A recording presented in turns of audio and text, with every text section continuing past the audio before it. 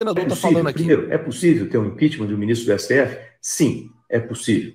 O que pode e será feito para que a gente tenha a vitória e salve o Brasil? Então ele explica aqui, olha só. Boa pergunta, Cláudio. Sim, com toda certeza.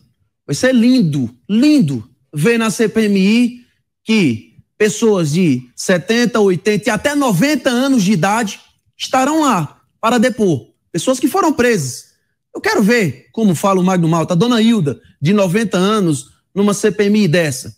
Dona Hilda, qual foi a sua tentativa de golpe? Qual foi a sua participação? Qual era a sua intenção? O que você fez no 8 de janeiro? A CPMI começou com um intuito simples: investigar os atos de ação e omissão.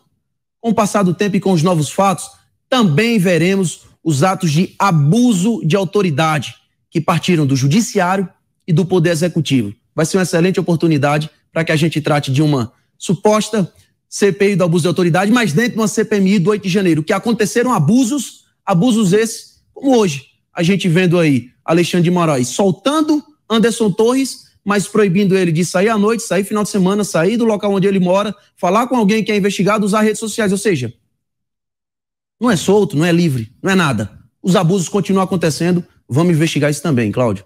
Essa CPMI. Mas vamos lá. A gente já sabe que vai chegar, porque a gente sabe que teve abuso de autoridade. O crime de abuso de autoridade é uma legislação nova no Brasil, de 2019. E entre outros tipos né, que caracterizam esse crime, crime cometido por juízes de qualquer esfera e membros do Ministério Público, estão determinar a prisão sem fato sem fato previsto em lei. E nós vimos aí a baseada. Agora, só para a gente ficar mais restrito ainda, para ficar fácil de entender, quando um ministro ele dá uma penalidade sem previsão na lei, isso também é abuso de autoridade, ou quando ele nega ao presidente Bolsonaro o direito de conceder a graça a quem ele bem entenda, tendo a sua jurisprudência dito já que, no caso Lula, ele poderia ter dado a graça por Cesare Batista ou quem ele quisesse. Bom, que abuso de autoridade a gente tem. Isso está registrado e publicado no Diário Oficial da Justiça. Agora, com isso na mão, a pergunta para mim, e a pergunta que o povo sempre faz é: e aí? O que se vai fazer com esse material todo na mão? Quem é que vai enquadrar o juiz maior? O presidente da Câmara ou do Senado vai topar fazer alguma coisa, vocês podem fazer uma obstrução de todas as pautas até que sejam punidos quem aqueles que cometeram abuso de autoridade. O que, que vai o que, que a gente vai fazer com esse monte de prova? Porque caso contrário, o povo vai ficar mais revoltado. A gente vai ver a comprovação de um monte de coisa errada e vai ver que não adianta, porque ninguém vai ser responsabilizado.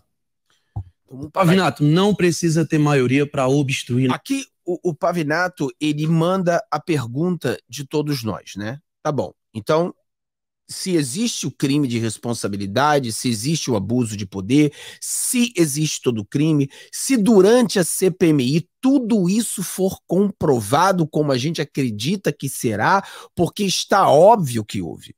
A jogada do, do, do deputado André foi bem simples. Imagina você tá tendo uma CPI, que eu tô. Cara, essa CPI é melhor do que série de Netflix. Você vai convidar senhores e senhoras de 90 anos, 80 anos, e eles vão depor. Porque houve uma narrativa de que essas pessoas queriam tomar o poder. Como é que tomaram o poder? Uma senhora de 80 anos entrar num prédio vazio, isso seria tomar o poder?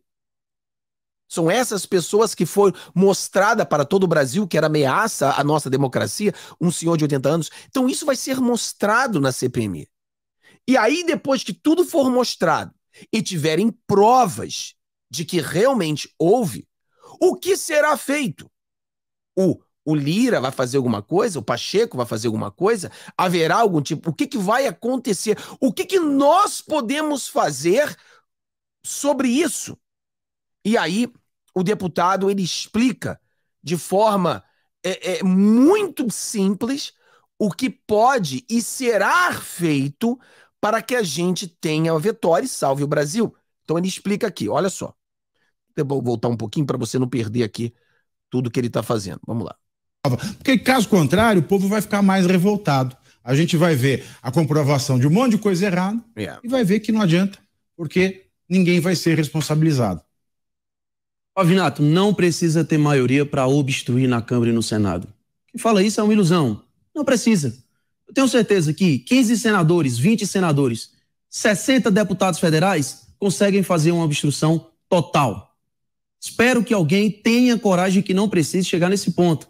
Mas, se vermos claramente, eu já vi, mas se a imprensa, se todo mundo, povão em geral, perceber os abusos de autoridades comprovados dentro da CPMI, que para mim não precisa ser comprovado porque já são fatos, mas que serão comprovados com a CPMI, com certeza pessoas terão que cair através de itens constitucionais.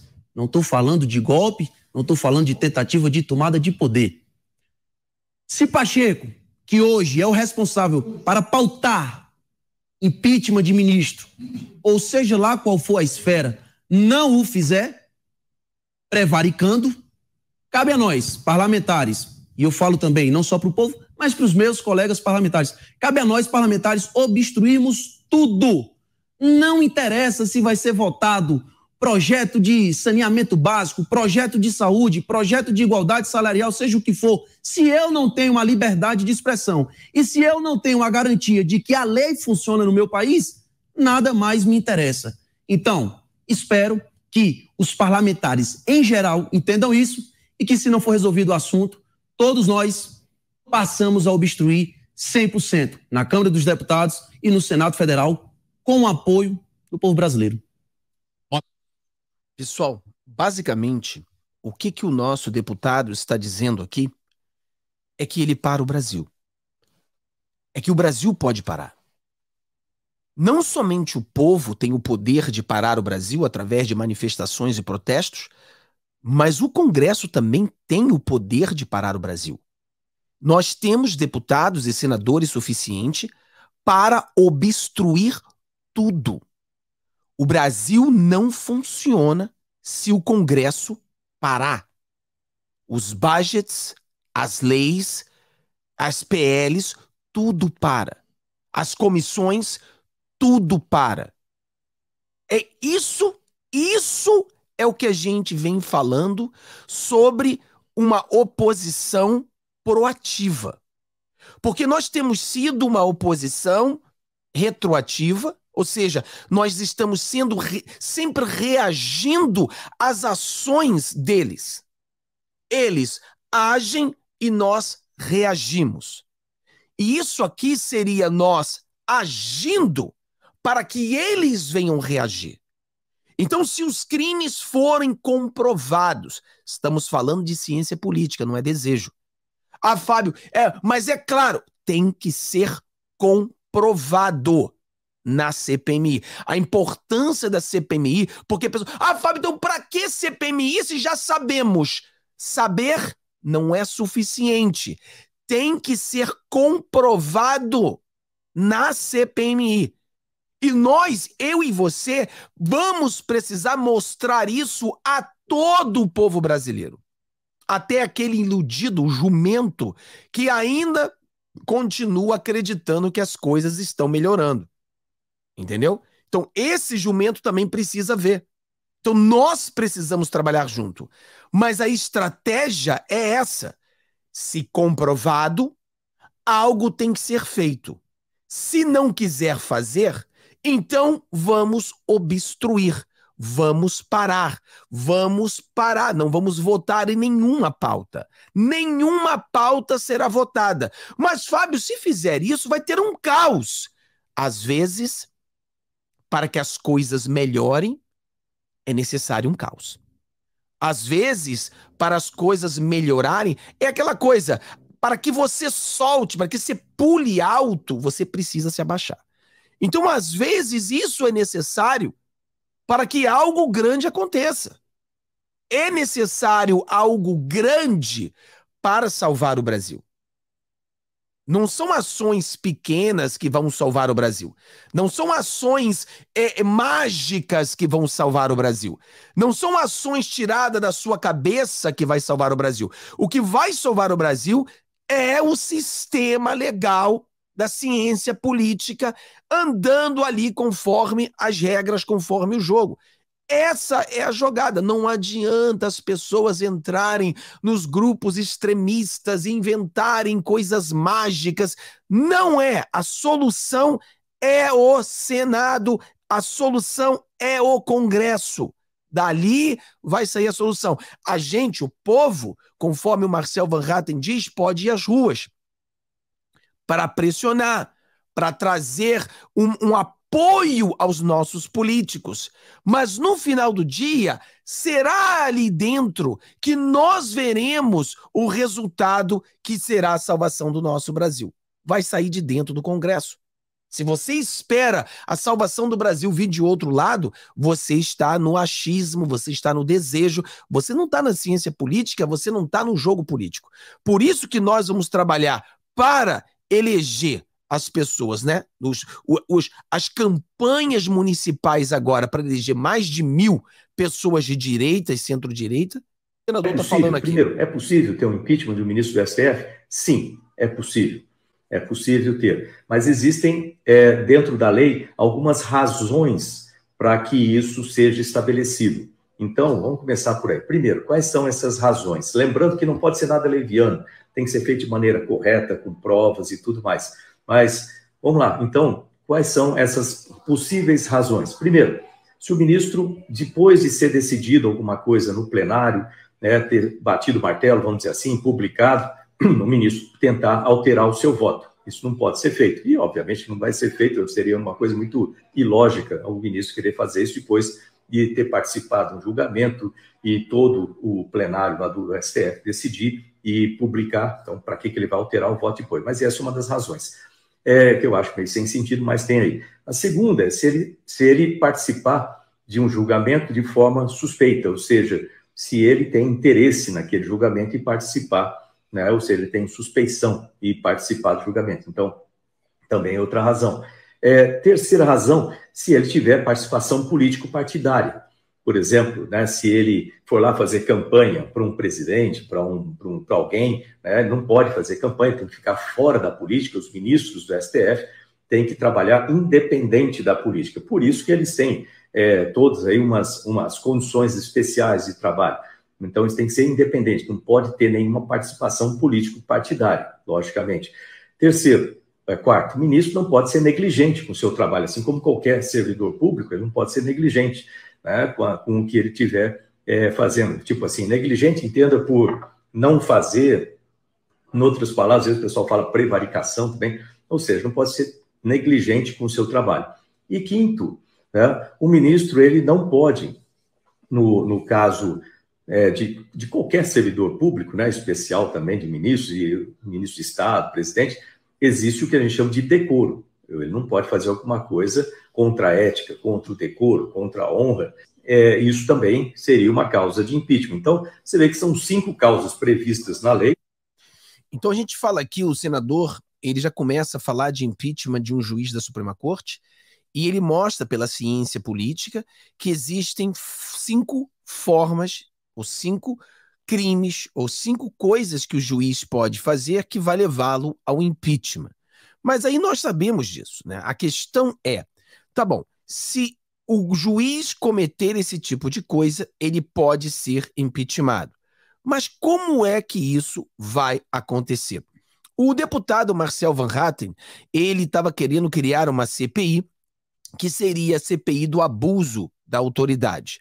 Essa CPI, ela pode ter as assinaturas suficientes para entrar, mas essa CPI, ou seja, essa visão, de investigar os abusos das autoridades também podem entrar na CPMI, que logo, logo começa. Exatamente.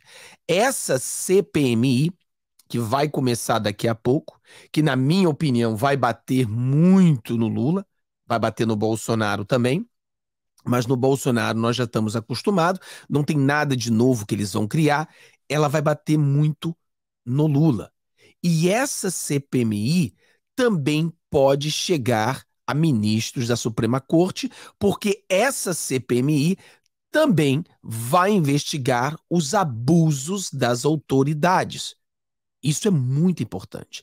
Porque a gente vai debater, mas espera aí, Fábio. Se a gente investigar os abusos das autoridades e nós chegarmos ao ponto em que sim, é comprovado de que há abusos das autoridades, o que nós podemos fazer para que algo aconteça. Então, aqui nós temos isso também. E lembrando a você que isso aqui não é achismo, isso aqui não é, é, é desejo, isso aqui é ciência política. A gente está seguindo a ciência política, as regras do jogo para combater essas coisas. Olha esse vídeo aqui do nosso querido deputado, do André Fernandes, falando daqui. E aqui ele joga o segredo. O segredo é um ponto que pode salvar o Brasil. Isso aqui pode salvar o Brasil. Porque a questão de que, tá bom, a gente encontra os crimes, a gente encontra os erros. Agora, como é que a gente faz para que haja punição para essas pessoas? Aqui ele revela algo que eu não sei se você percebeu, não sei se passou despercebido, mas é aquela luz no final do túnel aquela luz. Nós poderemos salvar o Brasil através dessa jogada aqui que ele deixou claro, eu não sei se você percebeu. Olha isso aqui. Fala, meus queridos, é sempre bom estar aqui com vocês no nosso canal do Facebook que está bombando. Ajude-nos a chegar a 300 mil. Já estamos pertinho de 300 mil. Compartilhe com seus amigos e chegaremos a 300 mil. Não sei se você sabe disso, mas nós temos o canal de live, que é Vida Gringa USA. No Vida Gringa USA fazemos lives todos os dias às 4 horas da tarde. E no Vida Gringa, que é esse canal, a gente bota o máximo de vídeos possível para ajudar a abrir a mente do nosso povo brasileiro. Não esqueça de nos ajudar. Você pode ajudar com o Pix. Aqui está o Pix na tela, você pode nos ajudar e compartilhando, se inscrevendo, dando seu joinha, deixando um bom comentário também, tá bom? Deus abençoe a todos. Vejo vocês na live ou no próximo vídeo. Um abraço.